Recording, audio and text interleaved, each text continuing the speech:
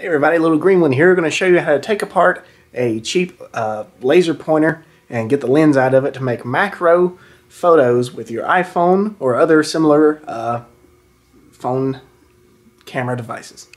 Uh, I'm sure we've all seen, we've all got a, a, laser pointer around that looks a bit like this and I had one that I've had for years and years and uh, here it is taken apart and everything.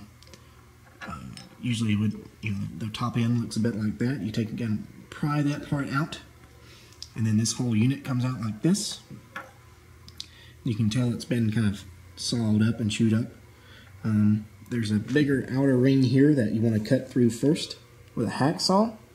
Just hack hacksaw through it gently until you get through it and then it'll be able to crack it open and get that ring off of there like that then all you're left with is this unit that looks a bit like that, just smooth metal.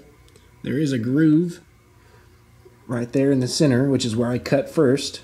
So you cut your cut that upper part off like that, and you just move that out of the way. Then what you're left with is a uh, a round unit. It's supposed to be. I've, I've cut pieces off of it here, so it should be nice and round like that and uh, you just want to cut that uh, smoothly and easily just through the side of it there.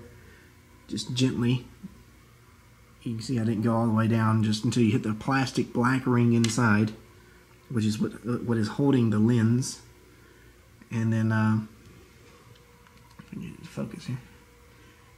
I had to cut it about three times until I could pry it apart and get the center part out. Then you want to uh, easily cut that black plastic with a hacksaw. Just keep uh, hacking away until you get that uh, portion uh, removed. Alright, so you're left with the little lens, which is just a little clear, blocky little thing. You slap a clear piece of tape on it, and then you can take uh, cool photos like this. And that. And there's an eyeball. So we take and uh, turn on a camera and you have to get it relatively close to the surface you're looking at. And you can see, that's, there we go, macro photos.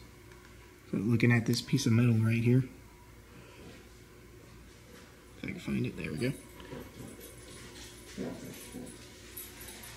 Really get zoomed in a little bit more, a little bit more. There it is. That's the inside of that right there.